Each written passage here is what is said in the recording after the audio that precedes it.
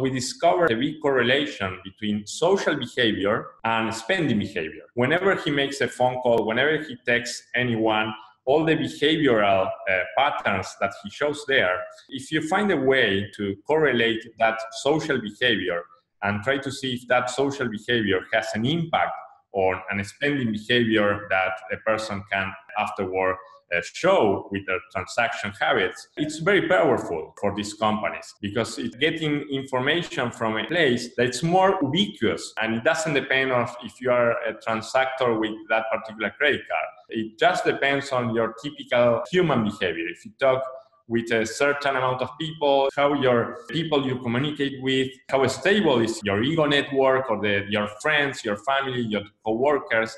And that tells a lot on the behaviors of the person. Nowadays, it has proven the social behavior is the best predictor in terms of the spending behavior, other than you can build a model trying to predict if a person is going to be loyal to a brand or not on maybe some psycho characteristic and the explanatory power of the social variables trying to predict the spending habits are, are much bigger than trying to build models other features. And i think that's uh, where the, a lot of the value comes from. What do they do with that? So they use it for many different purposes. One of the main purposes has to do with using for uh, selling to new customer or doing cross selling uh, with existing customers they also use this information to retain customers, or they also use some of this information to create a scoring on new prospects. The typical scenario is where they run campaigns with this data. They run acquisition campaigns, or they run a, a scoring for prospects in terms of risk analysis. They check what uh, works best.